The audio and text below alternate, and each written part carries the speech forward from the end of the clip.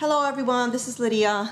I hope you're all having a great day. So grab a cup of coffee, your favorite beverage, and today I'm going to show you how to make these um, cute little fabric flowers. Little shabby chic flowers. There's a blue one I made, like a powder blue, and then this floral one. So um, the die that I used is the one that I just purchased from Hobby Lobby on clearance. It was, um, I think I paid $11.99 for it. And it's called the Sizzix Flowers 3D Fringed. Fringed. Right there.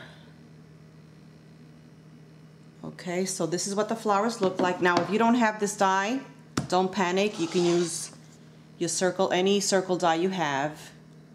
The only difference is once you cut your circles you're going to have to cut the little slits all the way around to form your fringe.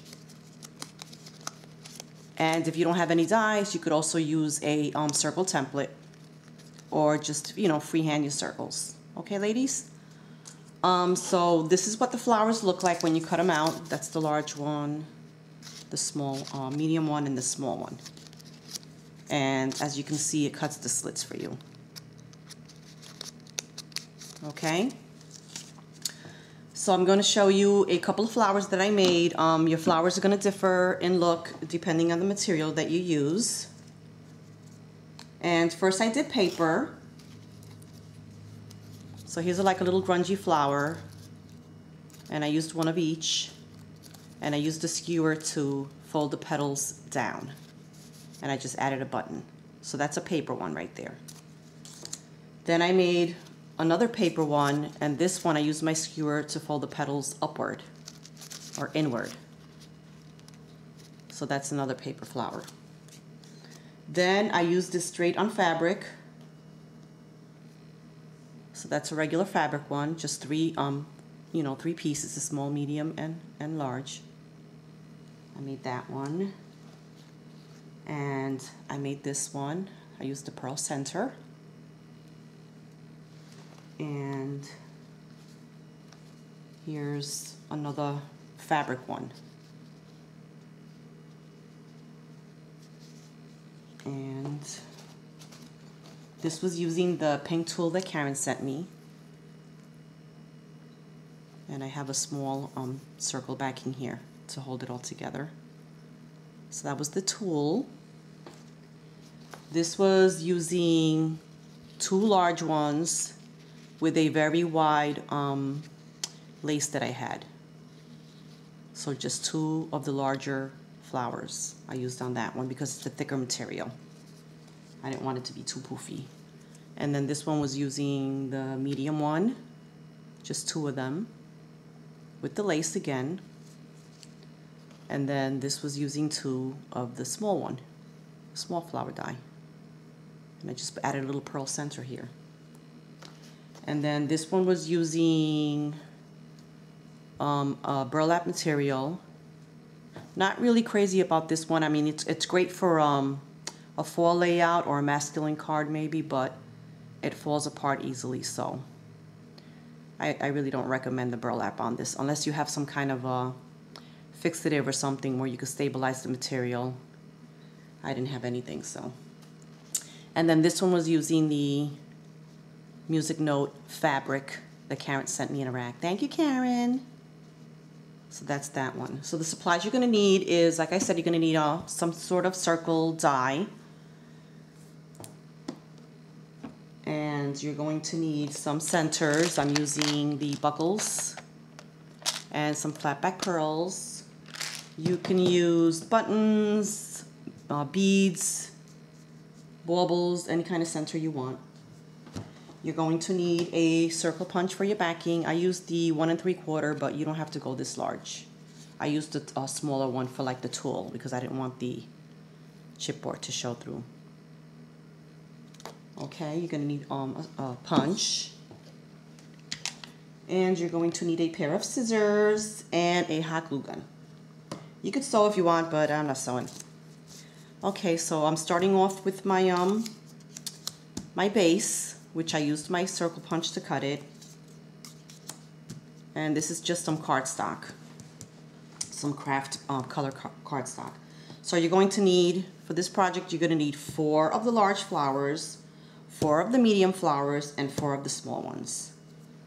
So start with your large ones. You're going to start from larger to smaller to finish it. And you're going to fold your flower. Now, don't fold it perfectly in half. You're going to fold it offset. Okay? I hope you can see that. You're to fold it like so. I don't know if it'll make a big difference, but I, nah, I think it would because you get a, a fluffier flower. Now this cotton material that I'm using is like a really, really sheer cotton. So I'm only going to need a tiny dab of glue on the um, edge here and that's all I'm going to need. But if you're using a thicker fabric, like when I use this one that Karen sent me is a heavier cotton, then you want to um, add some glue inside first add a little bit of glue, fold it in half, and then you add your glue again on the tip to put it down on your base. But this is really thin, so I'm just gonna need a little, a little bit of glue. Now center it. Oops, I have a different angle on my camera. So I'm off frame, sorry ladies. Just center it and glue it down.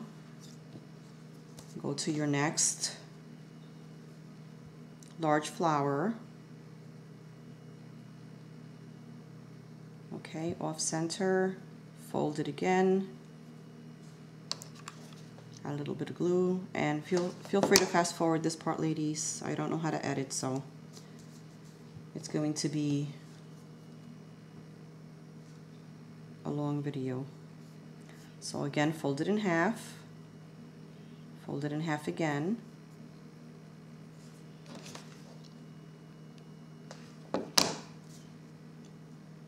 and add to your base there. This is the last large one.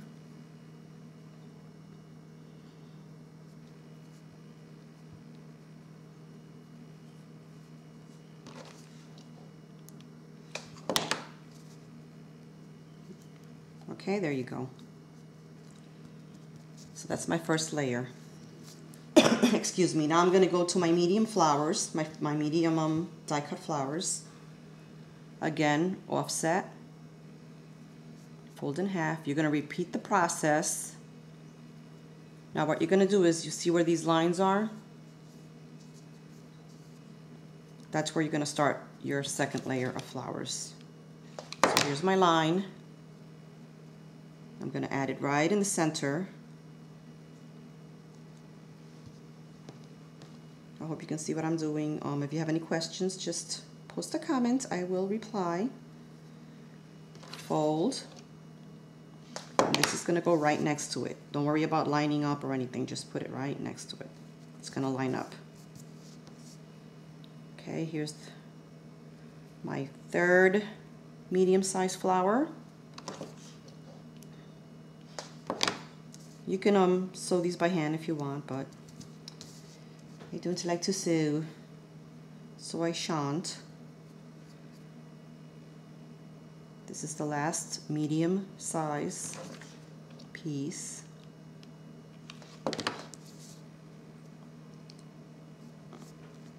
So that's what it's looking like right now, ladies. Like so. And now I'm going to add the last layer, which is the smallest flower. Offset the fold, fold it in half, fold it in half again. Look for your line. See? It's like an X. You're going to line it up like so.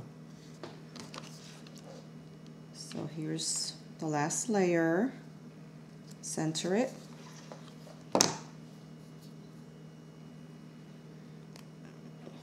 Hot glue on my finger. It's annoying.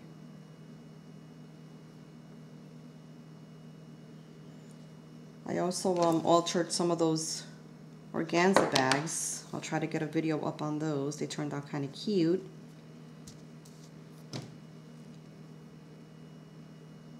So it depends on what, you know, the print fabric you use. You got Your flowers are going to look different. Try try different colors. This was an old dress that I was getting rid of and I love the print on it. And the cotton is like so sheer and so soft I thought they would make um, perfect fringe flowers. Here's my last piece. Okay and now you're going to add that's what it looks like.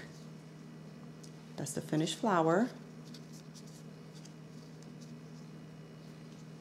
And I'm going to add a buckle.